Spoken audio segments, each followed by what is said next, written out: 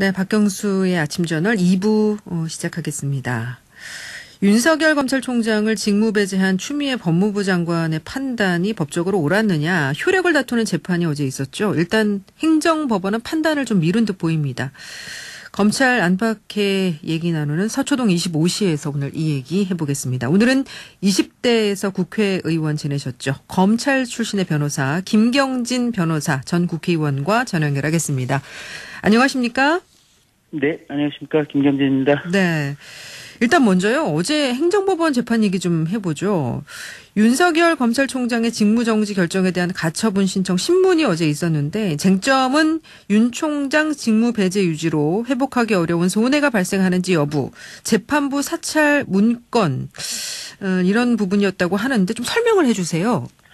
예, 우선 지금 추미애 장관이 그러니까 이제 직무 정지 사유 또 징계 사유로 예정한 것이 여섯 가지가 있는데 네. 이제 그 중에 다섯 가지는 이제 외부에서 볼 때 특별한 의미는 없고 음흠. 가장 핵심이 이제 결국은 법관 사찰을 했느냐 이런 불법 행위가 있어야 일단 징계를 하든지 말든지 그렇죠. 아니겠습니까? 예. 그러면 이제 이 법관 사찰 문건이라고 하는 것이 불법성이 있느냐 없느냐 이제 이게 첫 번째 쟁점인데 예.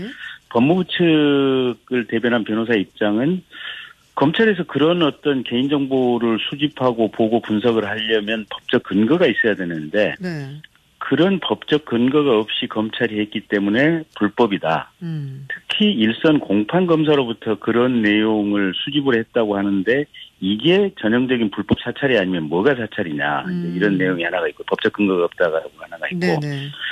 두 번째는 요새 사기업에서 채용할 때도 출신 고등학교라든지 출신지 대학교 이런 정보 수집 안 한다. 음. 그런데 학연 지연 학벌주의 이런 내용을 국가기관이 정보를 수집해서도 안 되고 또 어떤 내용은 심지어 세평이라고 하는 일부에는 모욕이나 명예훼손의 내용도 있기 때문에 불법이다. 이제 이런 주장이고요. 네. 그래서 이제 불법이기 때문에 총장을 징계해야 된다, 직무 배제해야 된다 이런 내용이고 반면에 이제 윤 총장 측은 음. 아니 검찰의 주요 임무가 수사도 있지만 공소유지도 있다. 네네. 그리고 수사정보정책관실은 공소유지를 위한 정보 수집을 하는 것은 직무 범위 내에 당연히 포함이 되는 것이다. 예. 라는 주장이 하나가 있고요. 두 번째는 판사들에 대해서 일률적으로 계속해서 꾸준히 상황 조사를 했다면 이게 사찰이 되겠지만 음, 음. 딱 한 번 이런 어떤 재판 맡고 있는 재판부에 대한 분석을 위해서 일회적으로 참고 업무 참고 자료를 만든 것에 불과하다. 네네. 뭐 따로 지속적으로 이런 자료를 축적 보관 관리한 것이 아니다. 그다음에 음.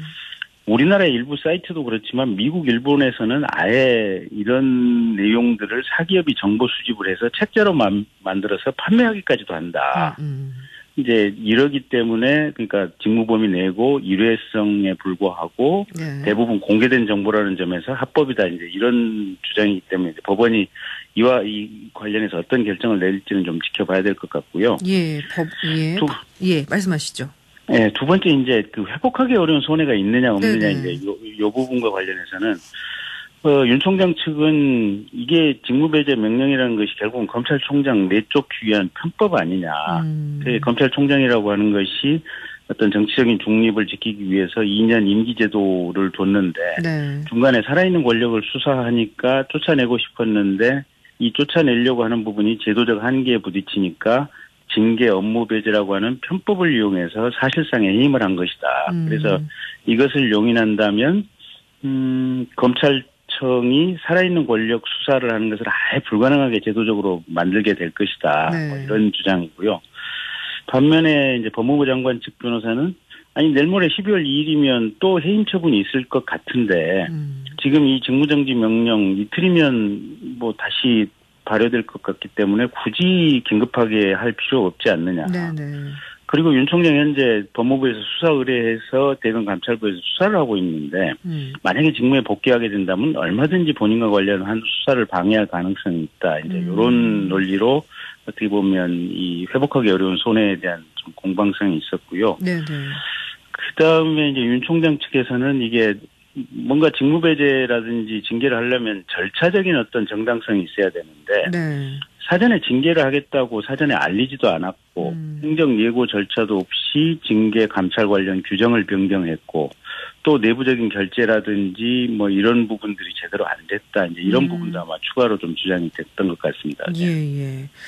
지금 이제 이번 행정법원에서 이제 이 부분에 대해서 어느 쪽 얘기가 맞는지 뭐 결론을 내리겠죠? 근데 이게 지금 오늘 감찰위가 있고 내일 징계위가 있어서 여기 법원의 결론이 더 주목을 받았었는데 법원이 오늘도 결론 내리지 않을까요?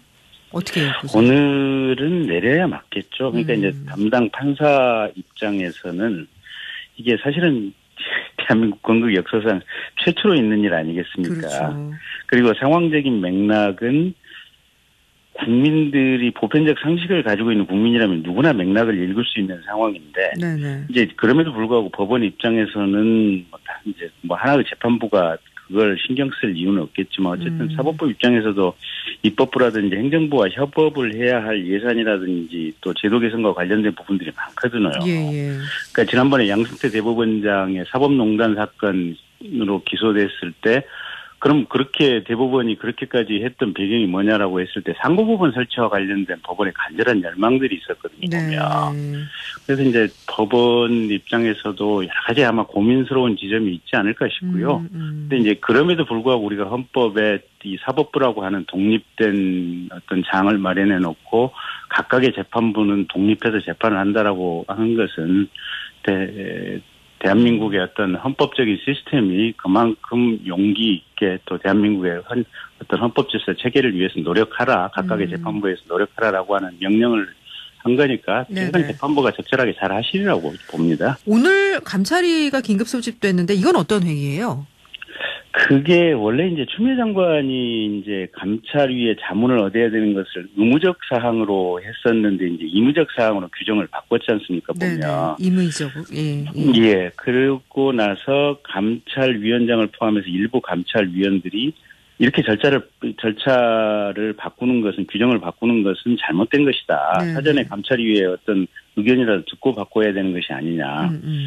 그 다음에 두 번째는 징계위원회가 열리기 이전에 감찰위가 먼저 열려서 거기서 의견을 주고 그 의견을 어느 정도 참고해서 징계위원회가 열려야 되는데 예. 징계위가 열리고 나서 사후에 감찰위가 열린다면 아무 의미가 감찰위가 없지 않느냐라는 음. 것이 이제 감찰위의 상당수의 그 위원들의 생각인 것 같고요. 네. 그래서 그런 그런 위원들의 생각이 감찰위원장에게 아마 이 개진이 됐었던 것 같고 음. 감찰위원장과 상당수 위원들의 주도로 법무부에 요구를 해서 아마 오늘 오전 10시에 열린다는 것 같고요. 네네. 감찰위 같은 경우는 이제 검찰 내부 위원보다는 검찰이나 법무부 내부 위원보다는 외부 위원들이 대부분입니다. 그렇죠. 그러다 보니까 사실은 조금 아마 법무부 장관의 생각과는 다른 의견이 나올 가능성이 음. 높지 않느냐라는 아. 부분이고 예상은 되는데 어쨌든 이 부분도 좀 지켜봐야 될 것 같습니다. 예, 예. 어쨌든 뭐 감찰위가 윤 총장 뭐 이렇게 쉽게 표현하면 윤 총장 측에 손을 들어준다고 해도 징계위 결정에서 이제 중징계가 나오면 지금으로 봐서는 추 장관이 바로 문 대통령한테 건의를 해서 대통령이 재가를 하는 방향으로 간다고 봐야 될 텐데 그러면 만약에 그렇게 되면 윤 총장 입장에서 징계위 결과에 대해서 다시 불복 소송에 돌입할 수도 있겠네요. 이미 지금 직무집행과 관련해서 가처분 또 본안 소송을 냈던 것은 네. 이게 대통령이 정말 강곡하게 어떤 여러 어떤 사유를 가지고 윤 총장에게 호소하지 않는 한은 끝까지 법정으로 가서 명명백백하게 음. 이 부분에 대해서 법적인 가르마를 타겠다라는 것이 윤 총장의 생각인 것 같고요. 네. 그래서 아마 사실상 상당히 이 법 적인 시끄러운 상태가 오래 갈 것 같고 음. 그 부분을 가르는 가장 핵심이 될 부분은 어, 내일 아마 검찰 이제 법무부에서 본징계를 하게 되면 그 본징계에 대해서 다시 이 집행정지 가처분 신청을 지금 윤 총장 측에서 내릴 수가 있습니다. 네네. 신, 이제 신청을 할 수 있고 그렇군요. 그 가처 이 본징계에 대한 가처분 신청에서 법원이 어떻게 할 것이냐, 어떤 판결을 내릴 것이냐에 따라서 음. 아마 이, 이 모든 싸움의 어떤 흐름이 좌지우지 되지 네, 않을까 그렇게 네. 예상이 됩니다. 사실 이제 뭐 이렇게 철학적인 관점이라고 해야 될까요? 전체적인 시각에서 보면 정치의 사법화 지금 이게 문제가 제기되고 있는 부분인데 이제 모든 정치적인 이해관계 이런 부분들을 법 테두리 안으로 가져와서 법적으로 따지는 것, 그러니까 대화와 타협, 뭐 협상 이런 거는 음, 사라진 지가 오래고 법적인 판단. 또 중요 사안에 대해서 헌재가 또 최고의 판단 기구가 된 지 오래고요. 이런 현상 정치인이자 법조인으로서 어떻게 보시는지요? 이게 현재 대한민국의 헌법을 빨리 바꿔야 되고요. 네. 그 제가 20대 국회에 있을 때 3년차 때 노르웨이하고 스웨덴을 한번 저 외교 방문을 했었던 적이 있었거든요. 네네. 근데 그때 두 정부에서 재미, 저 의원들이 재밌는 얘기를 하더라고요. 예. 자기네들은 국방과 관련된 제도나 예산, 그 다음에 에너지 정책과 관련된 제도나 예산, 음. 그 다음에 보건이나 복지와 특히 복지와 관련된 제도와 예산은 그 당의 의석 숫자하고 상관없이 위원회를 구성을 해서 그러니까 네. 소속 당의 비율만큼 위원회를 구성해서 음. 거의 만장일치로 의결을 어. 한다고 합니다. 네네. 그래서 이렇게 만장일치로 의결을 하면 특별한 상황이 없는 한 10년에서 20년 정도는 그대로 그 상황이 계속해서 간다고 합니다. 예, 예. 그리고 이제 제도를 개선해야 될 시점, 그러니까 제도 자체의 어떤 사람이 만든 제도다 보니까 항상 문제가 있는 거 아니겠습니까? 음, 음. 그래서 이제 그 제도의 문제점이 노출될 쯤 되면 다시 의논을 시작을 해서 또 한 번 제도를 만들면 그게 다시 한 번 또 10년, 20년을 가기 때문에 음. 그런 어떤 문제 가지고 자기네들은 극렬한 투쟁을 하지 않는다라고 어. 얘기를 하는데 네네. 가령 우리나라만 해도 지금 지금 정부 들어와서 지금 복지 관련해서 여러 가지 뭐 건강보험이나 이런 걸로 해서 지금 어 국가 부채가 한 200조 이상 늘어났거든요. 문재인 정부 예. 들어와서.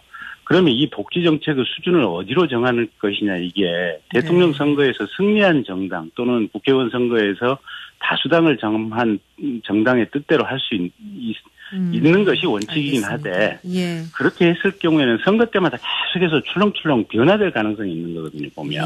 예, 예. 또 에너지 정책도 탈원전 하겠다고 하는 부분도 결국은 이게 가령 문재인 정부가 폐기되고 국회의 다수당이 또 만약에 국민의힘 쪽이나 다른 야당으로 음. 넘어가게 되면 또 폐기될 가능성이 있는 것들 알겠습니다. 예. 시간이 많지 않아서 마무리해야 될 것 같습니다. 예. 자, 오늘 여기까지 말씀 듣겠습니다. 고맙습니다. 예, 고맙습니다. 네, 지금까지 김경진 전 국회의원이자 변호사였습니다.